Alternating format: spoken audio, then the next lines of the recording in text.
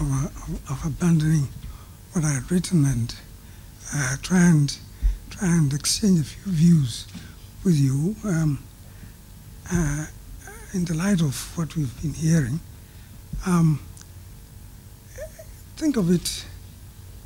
I think of uh, these uh, agriculture industry dichotomy uh, and the problem of changing by changing the direction from the one to the other. It's a rather artificial process.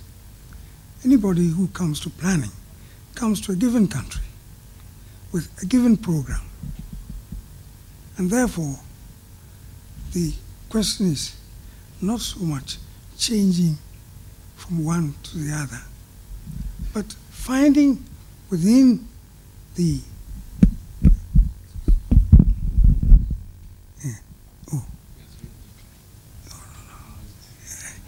uh, within the the path on which you're already embarked, those elements which have the most uh, uh, power to advance where you are going, or the least deterrent to where you are going, but not to try and jump from one to an entirely different model.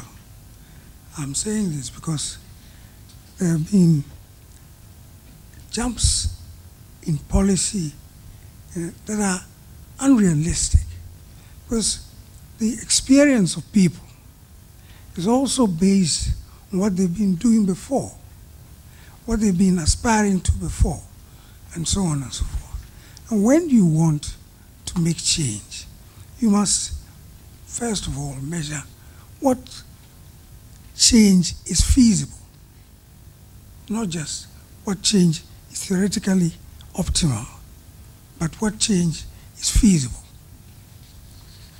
Uh, I want to say that uh, when Deng Xiaoping uh, launched China on this obstacle, th- this race, that he seems to have discovered what people needed instead of what the theoretician thought was optimal. And that seems to me accounts for the, the speed and success of his experiments. Uh, and it is also an argument for liberalizing because you can't sit in Accra or Beijing and imagine what people need. There's, there's a certain argument for democracy in that, in the process. Uh, Ghana started out with many advantages. That was 20 years before uh, Deng Xiaoping launched China also on a modified communist system. Ghana had been practicing a modified communist system. And after so many years, with so many advantages, you, you'll be surprised to know that at that time we had reserves equal to that of an Arab prince. We, we had accumulated so much money. And we were not bothered with winter. We are not, there's so many advantages. And what did we spend doing? Our time doing? We spent our time for 40 years and more, 50 years, following things that are important, things that are interesting, but nevertheless, things that are not focused on development. I think this uh, analysis uh, must start with that, that the government of the country must be in tune with the aspirations, the real aspirations of people, and must shine a bright light on the uh, attainment of those uh, aspirations. Because you can spend your time talking politics, doing this, that, and the time that you spend on those things, you don't have to spend on the other on the other development aspects. So the distribution of your political time between development and other things. I, I put all the other things together, but they may not belong together. That that that uh, ag- aggregated over 40 years. If there's a gap in your development rate of 5%, can you imagine what it amounts to after 40 years? Any theoretical choice of model that you could have made would never equal the choice in your condition after 50 years if you have not been spending enough of your time on development. The, uh, and so today we should be asking how can Ghana catch up with the rapidly uh, growing rate of wealth of the Chinese, not just not uh, what what can what what uh, can uh, uh, uh, how how do, how does Ghana compare with its neighbors in Africa? Because we did not start on the same footing. We did not. And the thing that uh, makes the difference, seems to me, is the in the Chinese case, the single-minded concentration on development.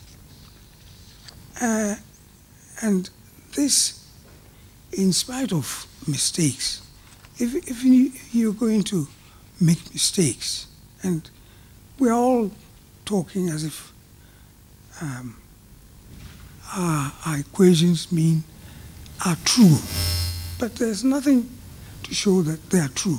It's only history that will show whether they are true or not. But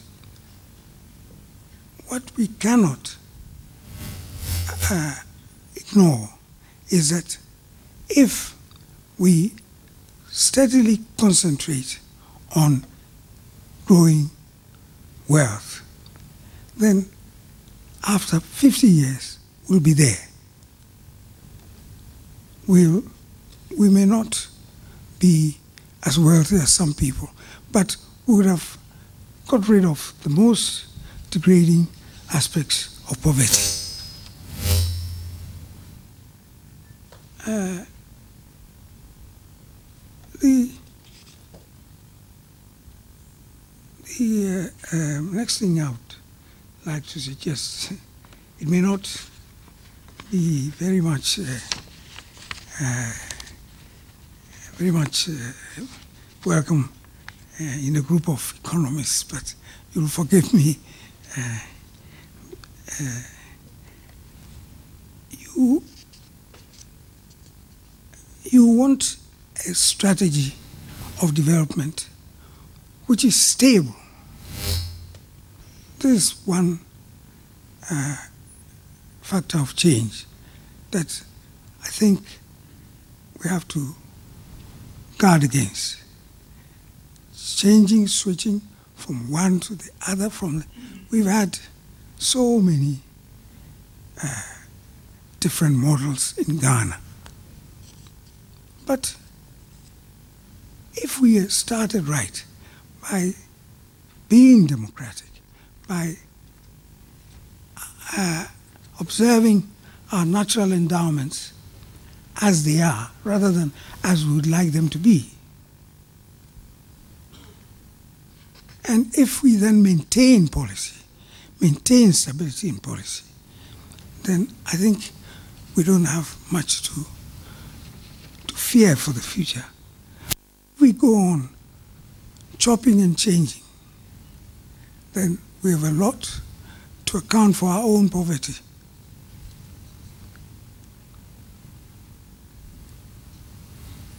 This uh, stability seems to have uh, achieved in China by the um, the, the, the residual of state control that then shall be left in the system while, uh, while liberalizing. I, I, I think that it's a futile uh, dichotomy controlled economy, uh, liberal economy. I think that in every society that you will have a mixture, a mixture according to the nature of the enterprise you are engaged in. And so when I see um, these models draw a conclusion in favor of big enterprise, small enterprise, in favor of uh, urbanization, in favor of rural sectors. I, I immediately know that we're barking up the wrong tree. Because what is life? What, what does a man use in ordinary life from morning when you got up until now? What things have you made use of? They are the products of various industries, various agricultural activities, various services, and so on and so forth. And it seems to me always a, a factor of some danger, at least warn to be able to warn ourselves against it. That we got focused on this is the era of industrialization. We go pell mell for industrialization. And we find ourselves lot short on, on the other things that we need. Uh, it seems to me, however, that a few things we might say for the industry is that we seem to have the industry playing the role of a, a catching disease. Catching disease is different from other diseases in the sense that when you have, you have it, your neighbor can catch it from you. Whereas if you have a fracture, that's, that's yours. But if you have a catching disease, your neighbor can catch it from you. And it seems to me that uh, industrial enterprises has more of momentum built into it than agriculture. But in agriculture also, it is because we have not tried hard enough. As they say, if we follow uh, the history of this country, the Portuguese were here 500 years ago introducing us to the seaborne trade of Europe. But did, we did not go further. Why? It's not because what we had to produce. The structure of production was not very different from that of Europe. Food and things like that. Industry was not developed. But they followed within that structure lines of development that brought them into a situation where they've got a bigger proportion of economic activity that was of the nature of a catching industry rather than a static industry. I have watched the progress here, and I would like to uh, just use a few examples to illustrate my general point. Everybody here espouses a theory. where we need uh, a variety of means of transport so that each class of goods can move according to their own nature and so on. But we have spent the last 40 years or so producing in Ghana a, a uni a uni-mode uh, uh, society. We've, we've closed down the railways. We, have we've uh, reduced the uh, uh, uh, what do you call it airline industry and so on. And we are now left with the roads. So now everybody complains about the roads. But it's because nobody's been watching. We've got a pipeline from Accra, from the refinery, going to Tema on the lake and producing a distribution point up in the north, which would have served uh, a lot of the north and saved the road from Accra to Kumasi. We've left that piece of uh, ironmongery in the, in the ground to rot. And we keep on complaining about uh, what uh, about the the, the, the, the carnage on our roads and so on. It is because we have not followed through. There are too many unfinished projects in Ghana. And so, if we, we might use the economists, we have a lot of capital that is not producing any result for. You'll be surprised how much of, the, of, the, of this there is in the country. We have, uh, for instance, uh, said that the cocoa industry, cocoa is our biggest product, and so on. But after all these years, why did the progress in the cocoa sector, why did it stop at the farm gate? Why didn't it go further? After years and years, everybody was talking about how we are going to process cocoa. Even today, you ask the University of Ghana how many of their graduates are working in cocoa, or how many patents we've got in the cocoa industry. We have produced a half success growing cocoa, and then we've turned over to the other things. And we, we have a, a very good salt industry. And 40 years ago, I, I was a consultant to one of our industrialists and going to advise him on setting up a caustic soda plant. That's 40 years ago. We never did. We keep on talking about it, talking about it, talking about it.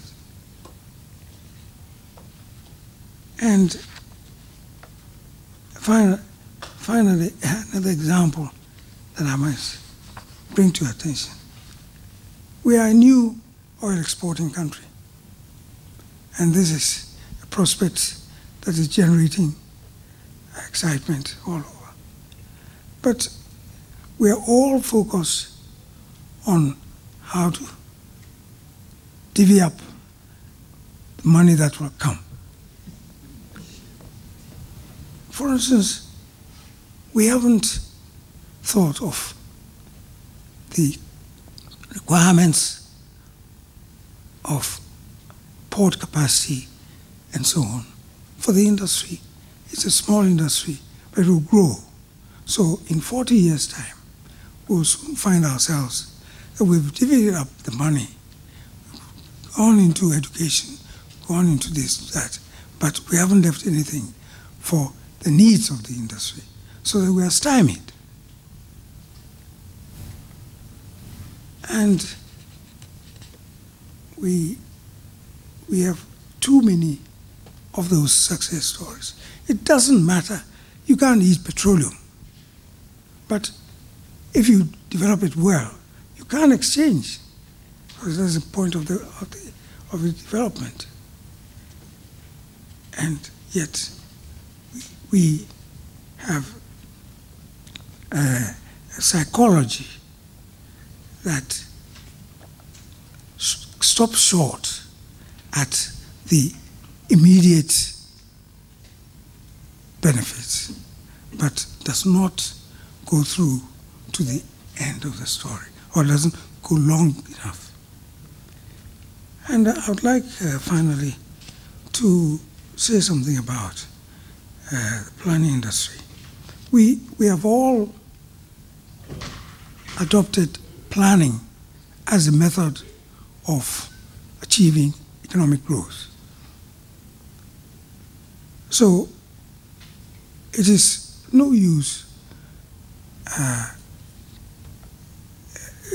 uh, uh, ignoring ignoring that factor.